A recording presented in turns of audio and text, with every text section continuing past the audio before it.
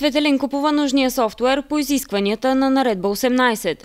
За целта той плаща 300 лева. Те, те дойдоха и казаха, че трябва да се инсталира. Трябва да, го сменим и ние като израдни окупации се го сменихме. В един момент започна да се говори за, за спиране на въпрос на редба и за прекратяването на действието й. И си пуснахме парите обратно и мън, мън, мън, мън, общо нищо. Към момента не сме си получили парите обратно, въпреки че не, не, използваме, не го използваме.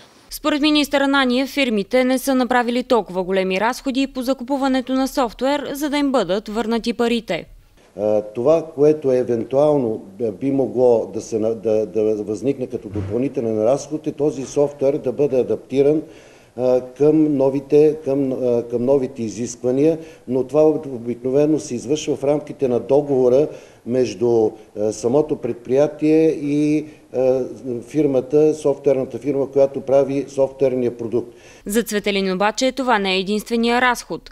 Оказва се, че сега се налага да плати ДДС върху 2500 лева заради грешка в софтуера предай на касовия, апарат, на касовия апарат да, изправи, нали, да фискализира сумата. В същото време софтуера не запази въпросния документ и се оказа, че има фискален, има фискален бон за сумата, пък нямам в софтуера стоката не стои неизписана.